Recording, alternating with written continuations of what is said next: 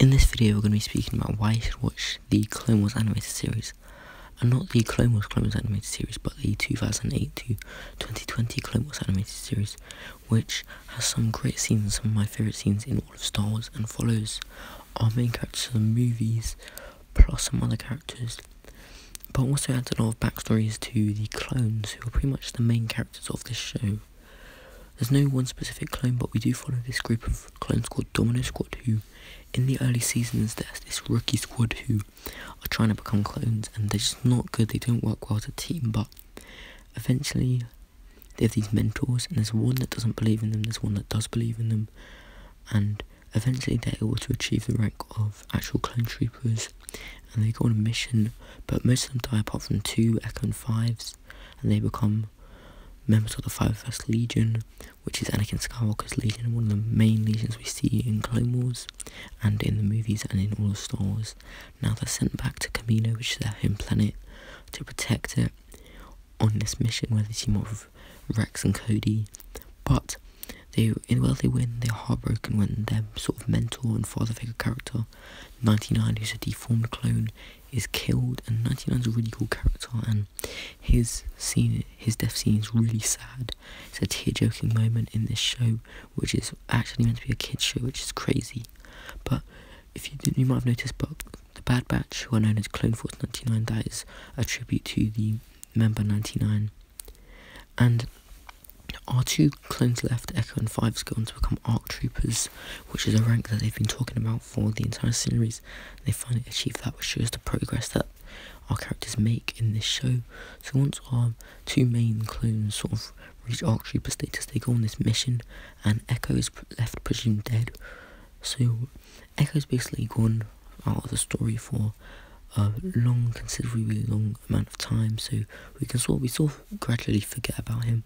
Obviously, we see more stories of Rex and Fives, but Fives is the only member of Domino Squad left now, and he's sort of just got to cope with all this grief, and it's weird that you have to remember this every time you're watching an episode he's in, that he's lost so many people in his life already, and that's sort of the life of a soldier, and it just adds lots of nice emotional scenes to the series. Now, Fives is a key member of the 501st Legion, along with Rex and some of the other clones like Tup, Hardcase, and Kix. And we to see all of these named characters sort of forming a bond, like a family. They all are friends they go on missions, they all work together, they all stick up for each other, they all try to save each other's lives. But on a mission on the planet Umbara, Five sees his brothers getting practically bullied and sent to death by this general, Jedi general called Pong Krell. Now Fives leads a rebellion against Pong Krell and is successful in a couple missions, but Krell eventually court martials him. But just before him and Jesse are able to escape, and we get C5's here, why he has success on that mission, it won't last, as literally a few months later, his new best friend in the clone in the clone ranks, Tup, falls ill, and he has to accompany Tup to back to Kamino, and him, Tup, and Rex go back to Kamino, and while Tup dies, and then Fives discovers the Order 66 plot, which is one of the biggest parts of all of Star Wars. This guy has simply found out and discovered all of it just by doing some simple digging. Palpatine orders Commander Fox to track him down and shoot him, and by the time Rex and General Skywalker get there, they're heartbroken as they see Fox shoots Fives dead instantly. Now, in season 7 of the Clone Wars, we find out that Echo is actually alive. It's a bit of a plot twist. And then we see Echo join the Bad Batch in the new animated series. So he's he's still around and kicking about, in case you're wondering.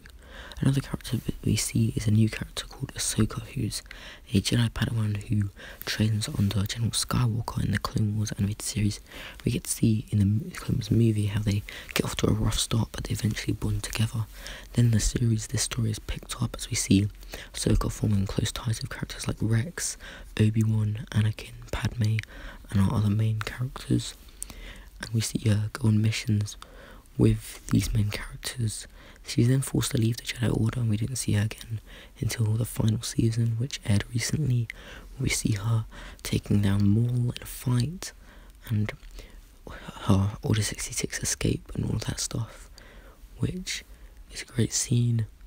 And then her story is continued in the Ahsoka novel, which while many of it is not canon anymore, it's still worth a read, in case you're wondering.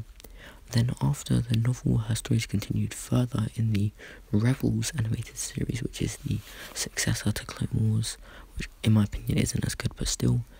Then we see her in The Mandalorian Season 2, again another appearance, and very recently, like a couple days ago, we saw her in the Book of Boba Fett episode 6. So she's been around and she's even getting her own live action show, so definitely a character look, to look out for. Now, our other main clone character is Captain Rex, who him and Commander Cody are sort of the stars of the show, while Echo Fives and the other members of Domino Squad are there. We get to see Rex's progressive journey from a clone commander who follows the rules to more of a rebellious commander, and we even see him in the Bad Batch animated series. So again, a character to look out for, as it's heavily rumored that he will be making a live-action appearance soon. Now, movie characters such as Obi-Wan Kenobi also have stories, and if you thought Obi-Wan Kenobi was already cool, then you're gonna love the Clone Wars as he gets loads of really cool scenes and fight scenes, and we also get to see his sort of situation with his former love interest, um, who is the leader of Mandalore, and then we get to see his interactions with Maul, who kills um, his love interest, and when he comes back. And let's just take a minute to talk about Maul, because Maul is one of my favourite characters in all of Star Wars, and in the Clone Wars, he's like at his best. He's basically taking on anyone and everyone, and succeeding, and he's basically indestructible and he feels invincible, but you see the losses that he takes, and it makes him feel more human and more relatable. And in the show, Maul gets a brother called Savage Opress, who's just a normal Zabrakian Knight brother, but he is chosen to become a powerful Sith Lord and basically transformed from this weak, puny being that we see into this born and bred warrior. And we see him and Maul fight together until Palpatine sadly kills the yellow skinned Zabrakian and ending his life. But he is turned into this amazing warrior by this character called Mother Talzin, who's a night sister who uses magic to transform him give him force abilities. And she is a character to look out for as she features in the comics.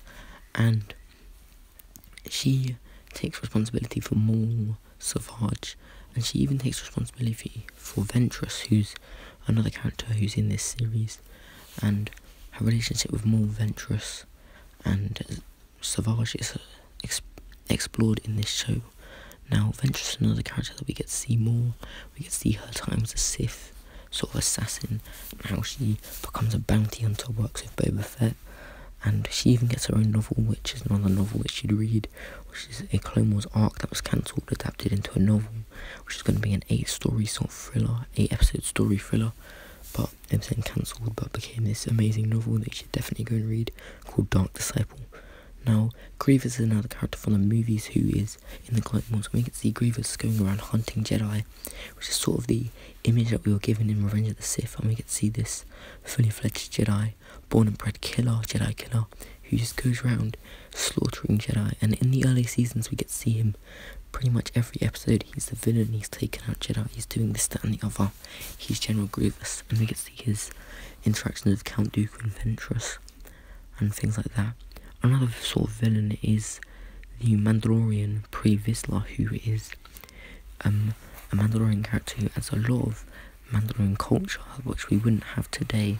So you can think Vizsla's inclusion for things like the Dark Saber and other of your favourite Mandalorian things. As before, Vizsla Mandalorians weren't really that well known about, whereas he added a lot of backstory. Then you've got your bounty hunters. Now, my favourite bounty hunter is Embo, and he is a character that originated in the Clone Wars. And he doesn't feature in many episodes, but he's a really cool character. And my second favourite bounty hunter is Cad Bane, who features in ton of episodes. He even features in the Bad Batch and more recently in the Book of Boba Fett. So he's a character to definitely look out for, as he is one of the main characters in this series, sort of a middle ground villain who works for pretty much anyone and anyone, anyone and everyone who can pay him. He's a blue skinned Duros. And another sort of non-villain that we see is Hondo, who is a pirate who betrays the Jedi but then works with Kenobi again. And it's just sort of a com comic relief character, but also a cool inclusion who has appeared at the Galaxy's Edge attractions in America, and also is in the Star Wars Rebels animated series. So this Clone Wars show it connects to all of Star Wars, and I think that is one of my favorite things about it. There's not an inch of Star Wars that Clone Wars doesn't have a connection to. That's why I should definitely go watch all seven seasons of it. Now, if you're new to this channel, then I recommend you subscribe. We're trying to hit 200 subscribers as soon as possible. And that's all for today's video. So I hope you guys enjoyed it. Leave a like, and I'll see you in the next video. Peace out.